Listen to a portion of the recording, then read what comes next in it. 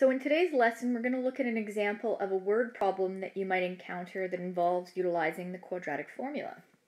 So you should know that in grade 12 chemistry, we often encounter um, word problems involving, um, you know, reagents and concentrations where we have to use the quadratic formula in order to solve for some unknowns. So you should know that, you know, the example that I'm choosing here is one, one of many that I could have chosen. And um, so let's take a look at the example and we'll talk more about it. So first, uh, it says the path of basketball after it is thrown from a height of 1.5 meters above the ground is given by the equation, and here it is, where h is the height in meters, so here's our h, the height in meters, right? Uh, and d is the horizontal distance, right? So we're mapping our height against our distance, and if we want to visualize that, we can create a little diagram. So presumably, you know, the individual who is throwing the basketball, here we go, uh, at a height of around, I guess it must be launched at a height of, you know, a meter and a half, wherever that is, right?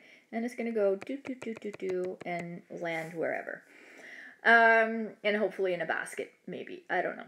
Anyways, so uh, now, there are several things that we need to consider here. Um, one is that um, when we look at, we want to take a really close look at this equation here and see if it is possible to factor because in most cases factoring is actually a more efficient uh, way to solve and also less prone to error.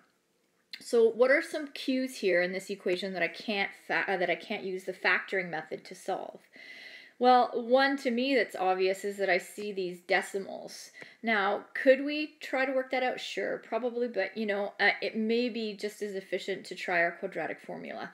So I see those decimals, and that makes me want to avoid factoring.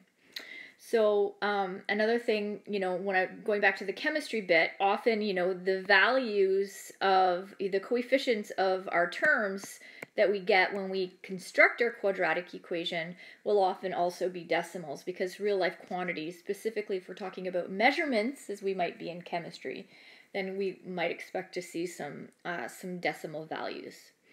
All right, so let's carry on and let's see what question they're asking us. But before that, let me just talk about one more thing, which is, you know, we have our height, right? And we also have our horizontal distance. Um, and so let's see what they're asking. They're asking us, how far has the ball traveled horizontally to the nearest tenth of a meter uh, when it lands on the ground? So really, what we want here is we want to know what this coordinate is right here. Uh, and so we need to say, well, when it lands on the ground, what is the value of h? Well, the value of h is going to be 0. So we're really just looking for our x-intercepts or our zeros to solve this, right? Now we need to remember that we always, typically when we're solving a quadratic, we end up with how many roots? Often, more often than not, we're going to see two roots. So we're going to see two solutions and then we're going to use those solutions. We're going to use our common sense in the context of the question to help us know which of those solutions is the valid one.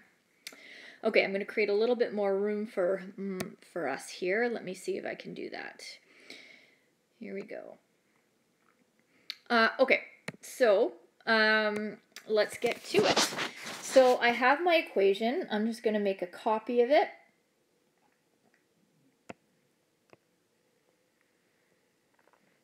There we go. And continue to make this just a wee bit smaller. Um, and now I can move this up even a little bit more.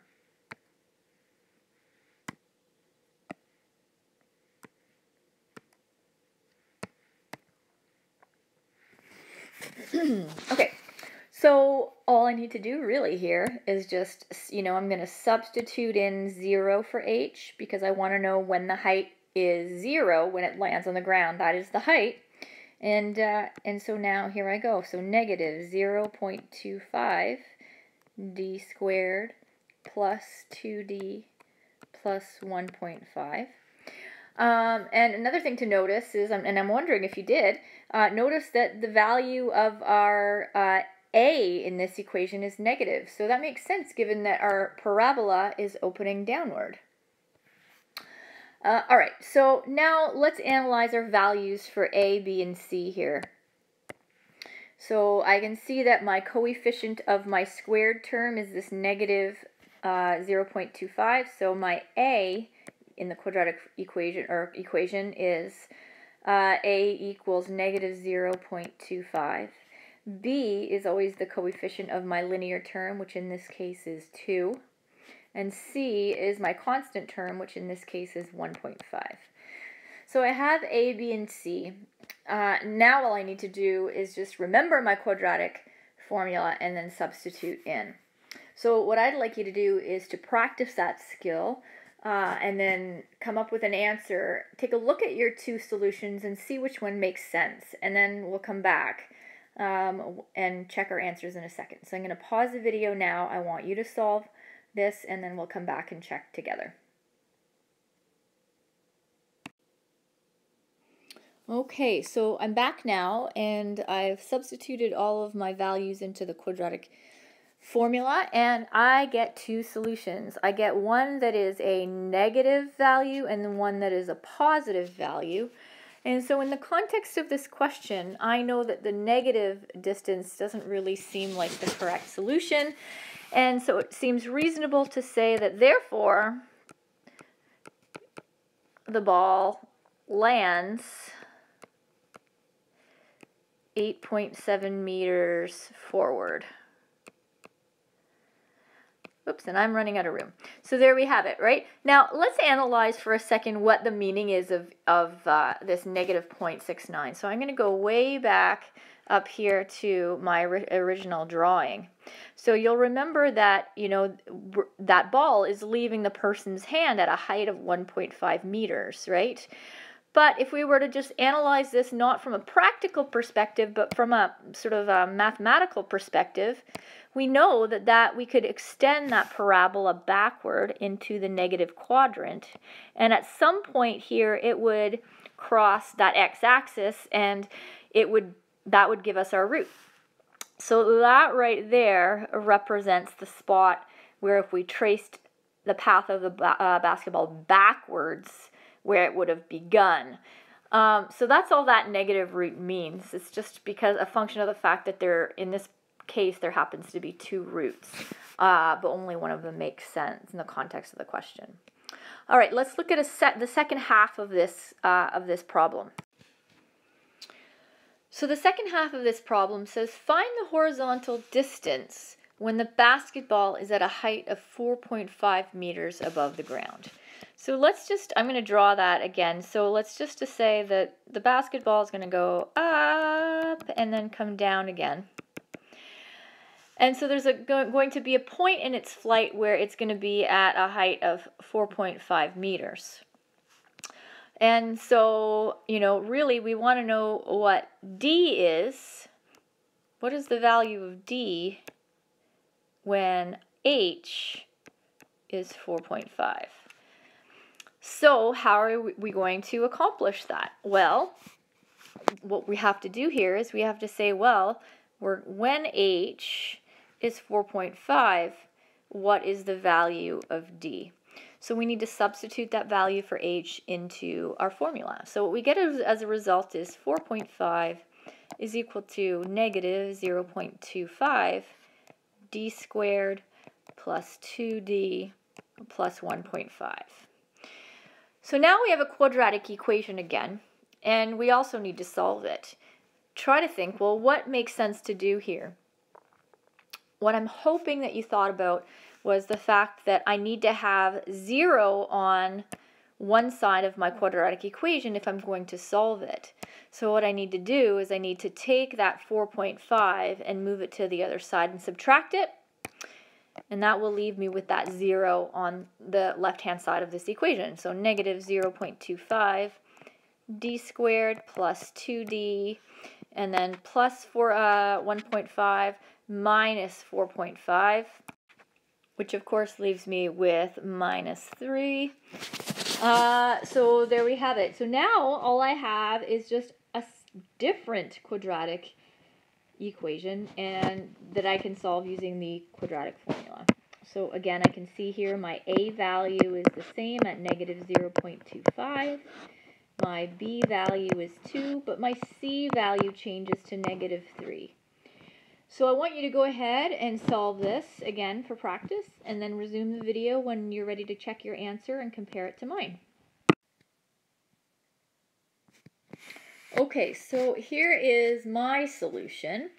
Uh, substituting in my values to the into the quadratic equation, remembering that there's a positive and a negative solution, I ended up with d equals 2 meters and d equals 6 meters.